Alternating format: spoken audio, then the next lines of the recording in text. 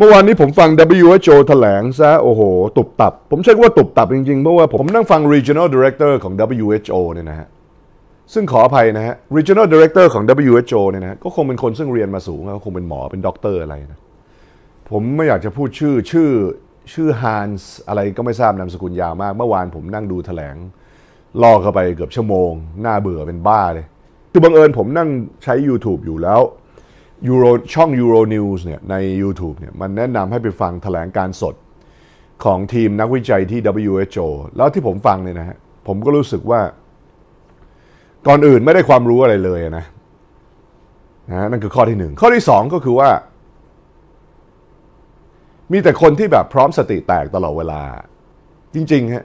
แล้วไม่ใช่เป็นคนไม่เก่งไม่ไม่มีความรู้นะ แต่ว่ามันเป็นคนซึ่งวันๆนั่งดูแต่ตัวเลขโควิด -19 แล้วก็นั่งอ่านแต่รายงานเกี่ยวกับอาการคนซึ่งติดโควิด -19 แล้วคุณคิดว่าถ้าคุณถ้างานของคุณอะคือนั่งดูกราฟตัวเลขคนติดเชื้อโอมิครอน แล้วงานของคุณคือนั่งอ่านรายงาน ซึ่ง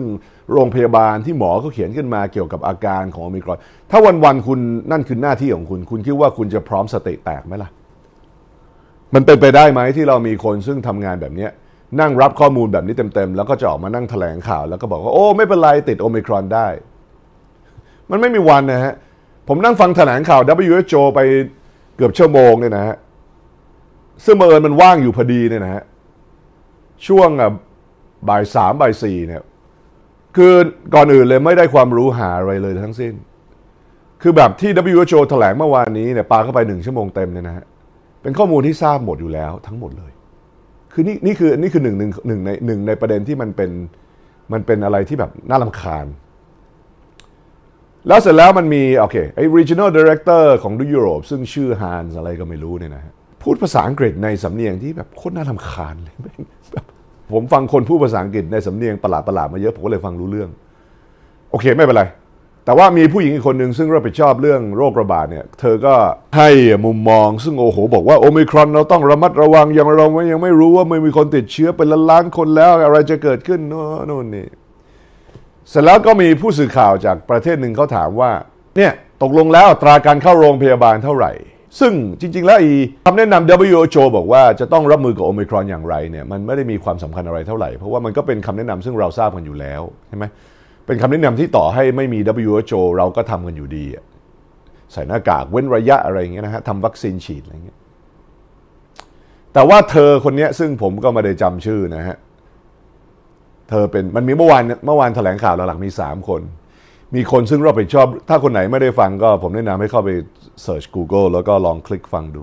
WHO ก็คงจะมีคลิปอะมี 3 คนเมื่อวานนี้ คนซึ่งเป็นคนผิวสี ซึ่งเป็นผู้เชี่ยวชาญเรื่องวัคซีนคนนั้นโอเค คนที่เป็นผู้หญิงซึ่งพร้อมสติแตก แล้วก็วันๆอ่านแต่ข้อมูลเกี่ยวกับโอมิครอนเนี่ยก็ คือยังไงอะคือข้อมูลมันบอกอย่างเนี่ยแต่เธอพยายามวิเคราะห์อีกอย่าง เธอพยายามจะบอกว่าให้ระมัดระวัง ติดเชื้อไม่ได้นะ เดี๋ยวมันจะติดเชื้อกันเยอะ แล้วเดี๋ยวมันจะมีอะไรซึ่งคาดคิดไม่ถึง ซึ่งก็โอเค รู้กันอยู่แล้วว่ามันเป็นระดับความเสี่ยงที่ต้องรับกันแต่ว่า แต่ว่าพอมาถึงตัวเลขเกี่ยวกับ แล้วคนพวกนี้พอดูตัวเลขจริงอะ่ะแล้วเอาตัวเลขออกมายันจริงอะ่ะถ้าเถียงจริงๆอะ่ะมันเถียงไม่ค่อยขึ้น เพราะว่าอะไร ในขณะที่เธอบอกว่าต้องระมัดระวังแล้วก็ จะปล่อยแบบเต็มที่ไม่ได้อะไรเงี้ยจะต้องค่อยๆดูไปอะไรเงี้ยนะซึ่งมันเป็นวัฒกรรมซึ่งน่ารำคาญนะฮะว่าเราก้าวเข้าสู่ปีที่ 3 ของโรคระบาดแล้ว มันเป็นวัฒกรรมซึ่งไม่มีใครก็อยากได้ยิน เธอก็บอกว่าโอ้มีรายงานตัวเลขคนซึ่งเข้ารักษาตัวในโรงพยาบาล ถึงขั้นที่จะต้องใช้เครื่องช่วยหายใจ 1%พอผมฟังตรงนั้นเสร็จผมก็รู้สึก แล้วคุณจะมานั่งตักเตือนอะไรหนักหนาสาหัสขนาดนั้นทำไมวะ คุณให้ตัวเลขมาแค่นั้นนะคนก็คิดได้ละ เมื่อวานนี้ผมแชร์ไปใน Facebook นะฮะ ว่า if you are afraid ถ้าคุณกลัวไวรัสที่มันฆ่าคุณตายไม่ได้เนี่ยนะฮะ